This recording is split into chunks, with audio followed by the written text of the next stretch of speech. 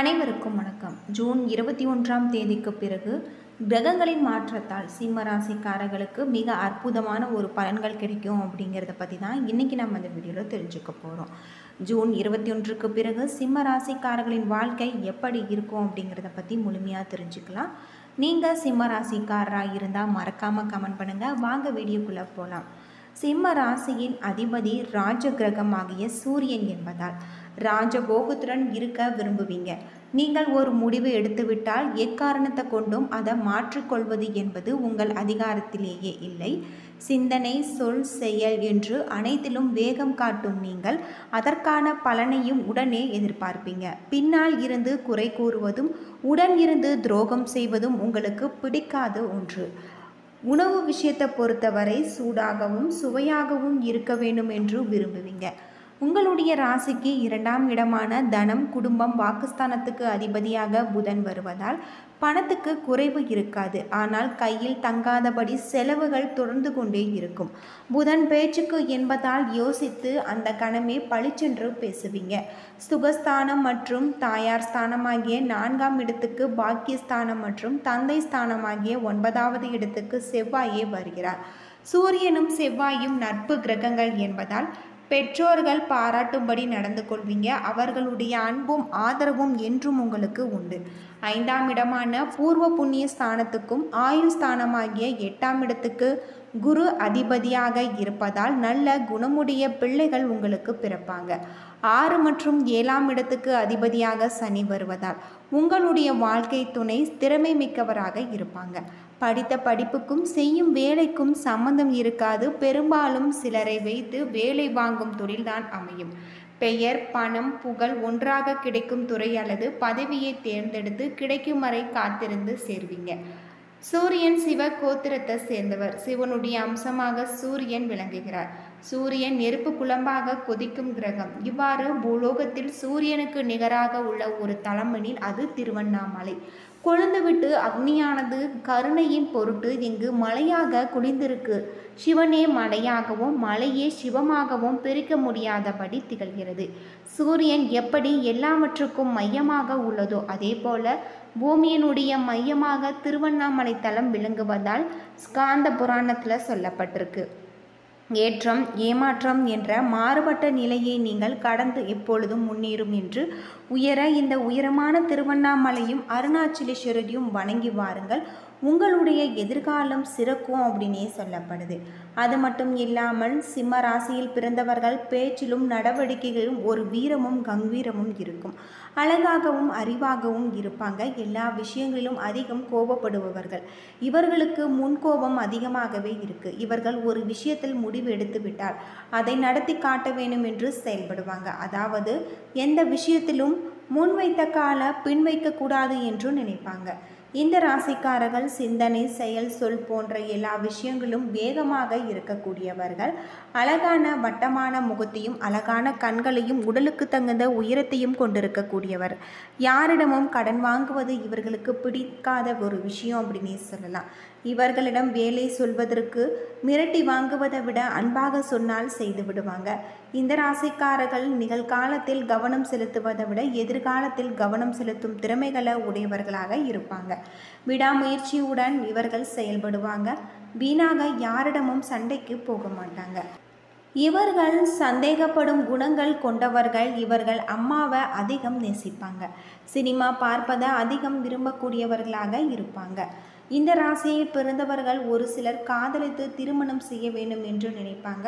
அதற்காக பல சிரமங்களை தாங்கிக் கொள்வாங்க. இவர்களுக்கு திருமண வாழ்க்கையில் அதிகம் அக்கறையும் நாட்டமும் இருக்கும். பல சிரமங்கள் ஏற்படும் அப்படின்னு சொல்லப்படுது.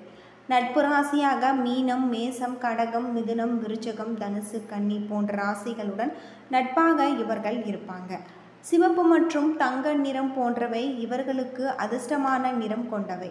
ஒன்று மற்றும் நான்கு போன்ற எண்ணுங்கள் உங்களுக்கு அதிர்ஷ்டமான எண்களாக இருக்குது அப்படின்னே சொல்லலாம். பொதுவாக சிம்மராசிக்காரங்களை பொறுத்தவரை உங்களுக்கு நீங்கள் உங்களுடைய திறமைகளில் முன்னேறி வாழ்க்கையில் வெற்றி பெறக்கூடியவர்களாக இருப்பீங்க அப்படின்னே சொல்லப்படுது. அது மட்டும் இல்லாமல் யாராவது உங்களை புகழ்ந்து பேசினால் நீங்கள் உடனே அவர்களுக்கான வேலைகளை உடனே செய்து தருவீங்க.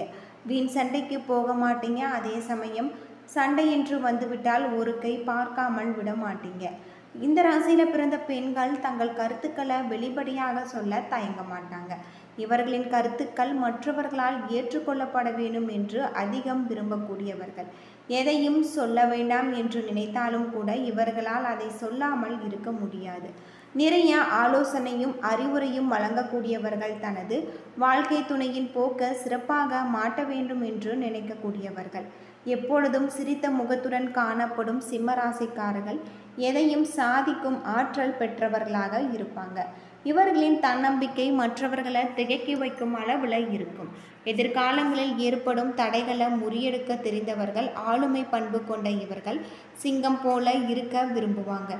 இவர்கள் பேச்சை யாராவது மீறும் பேசும்போது சாத்வதியராகவும் மாறக்கூடியவர்கள். இந்த ராசி பெண்கள் யாராவது அறிவுரை சொல்லி அடக்க நினைத்தால் அது இவர்களுக்கு பிடிக்காத ஒரு விஷயம். இந்த ராசியில் பிறந்த பெண்களின் காதல் மிகவும் மகத்துவமானதாக இருக்கு. இவர்கள் காதலிப்பதையும் காதலிக்கப்படுவதையும் மிகவும் விரும்பக்கூடியவர்கள். காதலிக்க விரும்பினாலும் அவர்களின் துணை முதலில் முடிவெடுக்க வேண்டும் என்று எதிர்பார்க்கக்கூடியவர்கள். தங்களின் துணையை மகிழ்ச்சியாக பார்த்து கொள்ளக்கூடியவர்கள் அவருக்காக அனைத்தையும் கொடுக்கக்கூடியவர்கள். இவர்கள் யாரை வேண்டுமானாலும் தன் பக்கம் ஈர்த்து அவர்களை தனது கட்டுப்பாட்டுக்குள் வைத்து கொள்ளக்கூடியவர்களாக இருப்பாங்க அப்படின்னே சொல்லப்படுது. பொதுவாக சிம்மராசிக்காரர்களை பொறுத்தவரை அடுத்து வரக்கூடிய நாட்கள் இவர்களுக்கு ஒரு அற்புதமான நாட்களாக தான் இருக்குது அப்படின்னே சொல்லலாம். ஜூன் இருபத்தி ஒன்றுக்கு பிறகு மிகப்பெரிய ஒரு அற்புதமான வாழ்க்கை இவர்களுக்கு அமைஞ்சிருக்கு அப்படின்னே சொல்லப்படுது. சிம்மராசைக்காரர்கள் நீங்கள் முருகப்பெருமான வழிபட்டு வாருங்கள். உங்களுடைய வாழ்க்கையில் இருக்கக்கூடிய அனைத்து விதமான பிரச்சனைகளும் தீரும் அப்படின்னு சொல்லப்படுது.